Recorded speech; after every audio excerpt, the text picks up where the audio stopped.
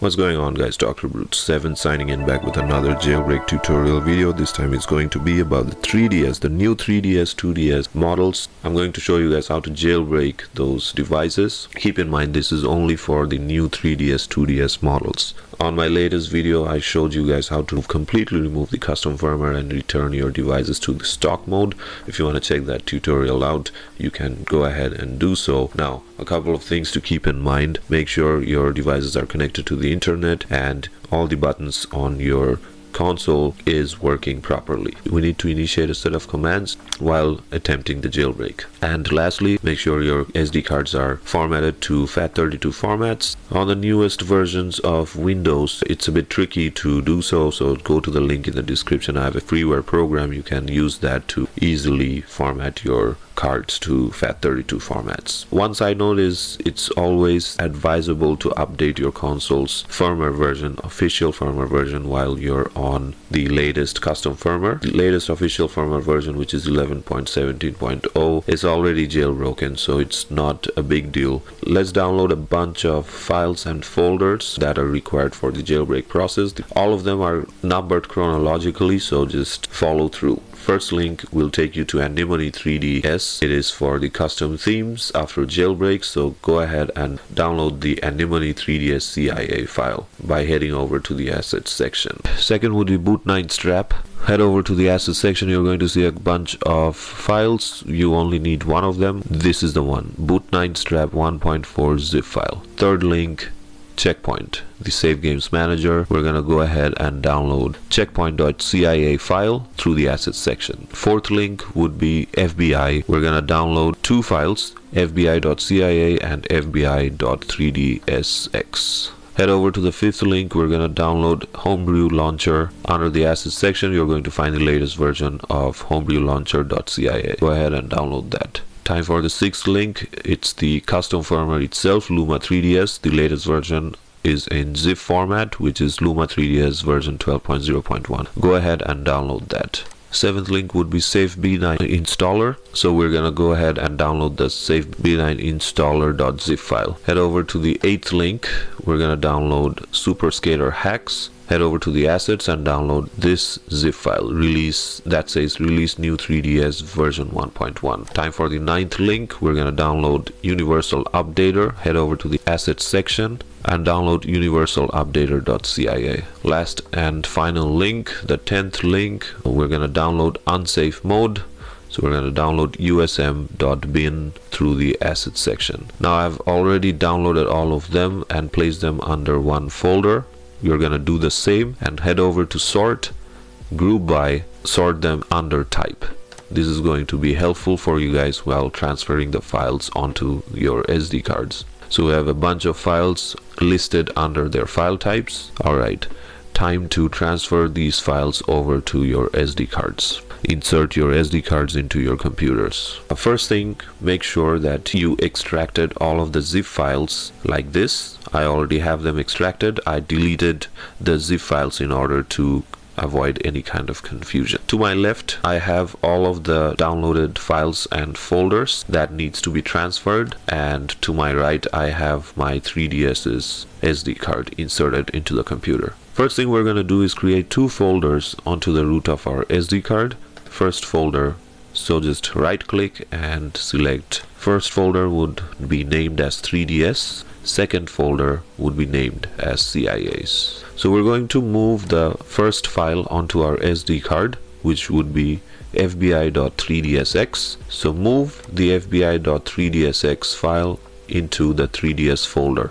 After moving that file you can delete it. Second would be the usm.bin file. We're going to just drag and drop onto the root of our SD card you can delete that file. Third would be moving all of these CIA files into the created CIA folder. Select all of these files and I'm just gonna completely move them into our CIA folder of our SD card. Alright, head over to your SD card and create another folder, name it to boot9 strap head over to your downloads folder where you have all of these files and folders downloaded head over into boot9 strap select both of these files and move them into the created boot9 strap folder of your SD card you can delete off the folder from your downloads folder. Time to create another folder onto the root of your SD card. Right click onto the root of your SD card and create a new folder. Name it to Luma.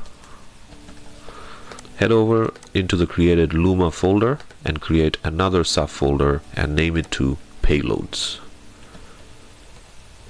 head over into your downloads folder and double click into God Mode 9 folder. Here you're going to see a bunch of files. We only need the God Mode 9.firm file. We're going to just copy and move it into the payloads subfolder.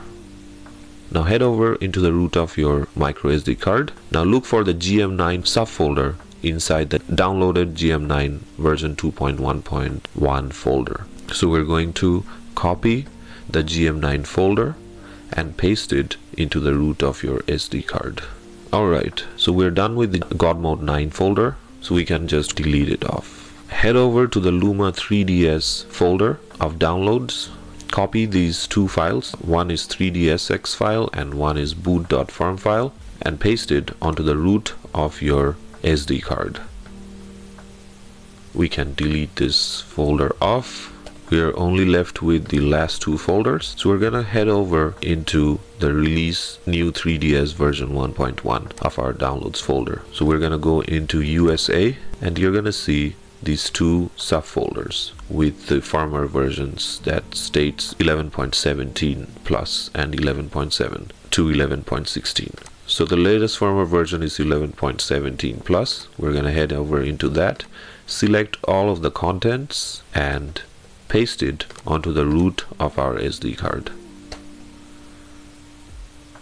Okay, so we can delete off the release new 3ds version 1.1 folder from the downloads folder. That leaves us with only one last folder, the safe b9s installer. Head over into that folder and we're going to look for the safe b9 installer.bin file. This is the only file that we need to move. We're going to copy it and paste it onto the root of our SD card.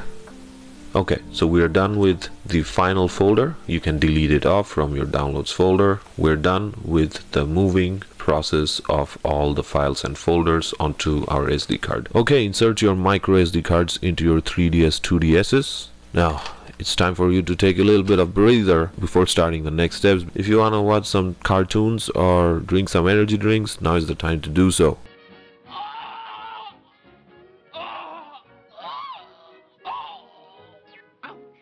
Alright, now turn on your 3DS, 2DS consoles. You can pause the screen here because we're gonna have to scan one of the QR codes. Based on your region, you're going to be scanning the QR codes. For me, it's USA, Europe, and Japan. With the camera aligned with the QR code, you're gonna have to select the QR code option. Align the camera and I'm gonna select the QR code option. Okay, so here it says URL found go ahead and hit on OK. Launch the internet browser. If you get this error code, just hit on allow you're gonna see this thing that says go go. Press on select and bookmark the page. I already have it bookmarked so you're gonna just bookmark this page. After bookmarking the page you would want to delete any kind of cookies. Go ahead and hit on start and go to settings and delete cookies. You're going to head back into the main menu screen by pressing the home menu button. Time to relaunch the internet browser. If you still get this error code do not worry just allow now just select go go. You're gonna see a pop-up notification. Just go ahead and hit on ok. Great. We just met with an error. Do not worry about this so i'm gonna explain it to you. Now for this particular error there is a fix but if you keep on getting any kind of errors other than this just keep on trying up to five times and if it still doesn't work there is the troubleshooting guide. Just follow through those instructions. You're gonna have to change the date and time. Head over to settings other settings date and time today's date. So obviously it's not 2017 2023 18th and month of July. And press on OK. Changing the date may cost it. It's fine. Date has been set. Now we're gonna set the current time. At this time of making the video it's exactly 440 the clock just hit 441 okay time has been set we're gonna just exit out of this relaunch the internet browser select GoGo one more time pop-up notifications hit on OK you're gonna see these colors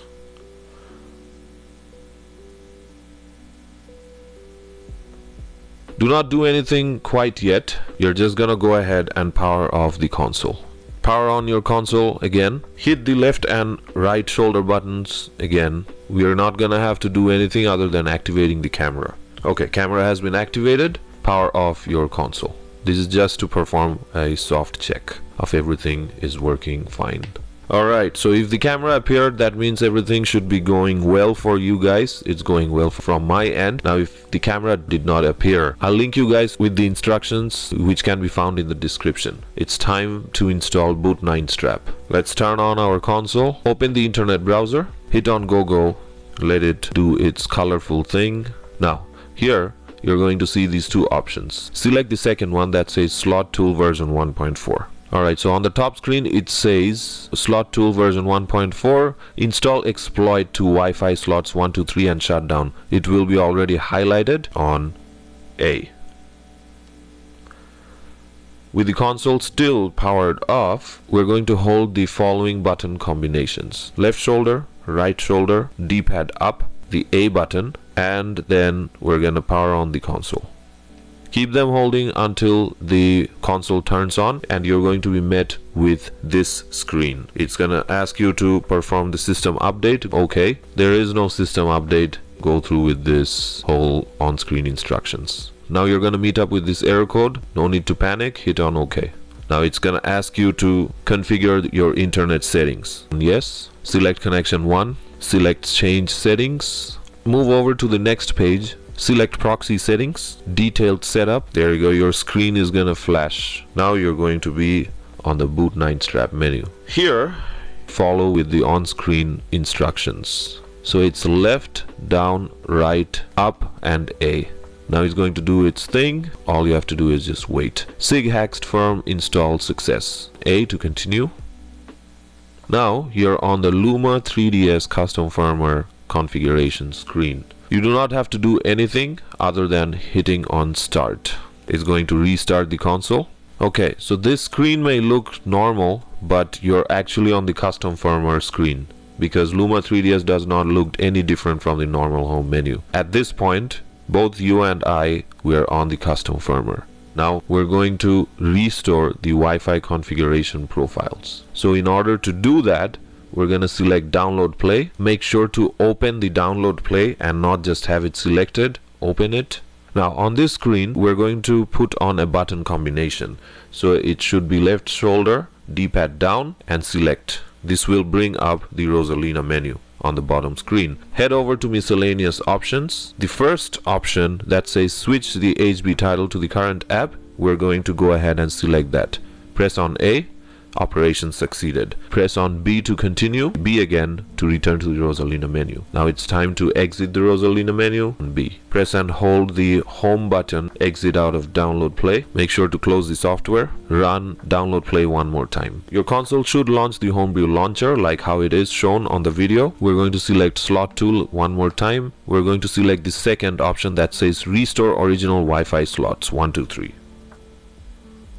Before we move on to the installation of the Homebrew apps, we're going to perform the system update. Head over to settings. We're already on the latest system software version 11.17.0. This is only to show you guys that we would still be able to update our official firmware through our custom firmware itself head over to the very last section of other settings system update update system there you go the system is up to date Alright, let's just go back to the home menu.